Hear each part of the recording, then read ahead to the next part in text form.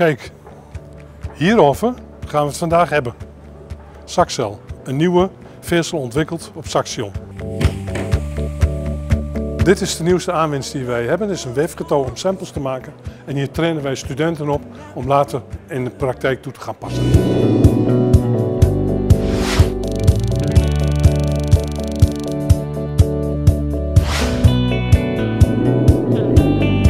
Wat je hier ziet is een borduurmachine waar we de studenten eigen maken met geautomatiseerd borduur.